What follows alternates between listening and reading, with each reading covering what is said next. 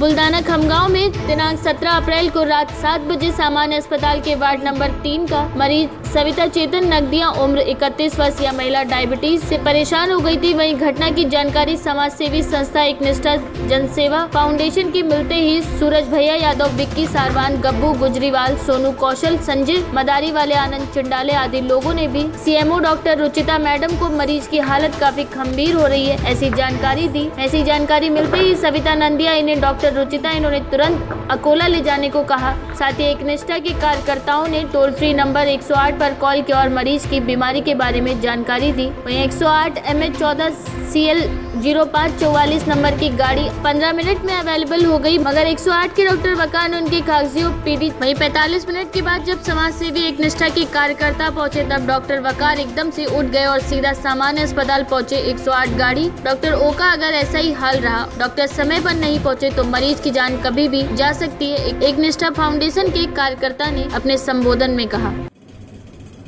खामगांव के सामान्य अस्पताल में पेशेंट सविता चेतन नगदी, नगदिया, उम्र 31 वर्ष।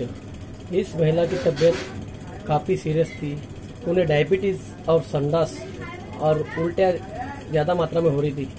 तो एक निष्ठा फाउंडेशन के कार्यकर्ता, इन्होंने घटने की जानकारी 108 एंबुलेंस पे कॉल कर टोल फ्री पे दी उसके बाद में 15 मिनट बाद 108 गाड़ी हाजिर हुई।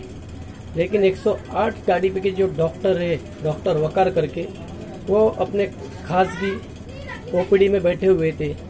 वहाँ जब एक निष्ठा फाउंडेशन के कार्यकर्ता आदि लोग पहुँचे तो घबरा के उठ गए और पौन घंटा वो लेट आए।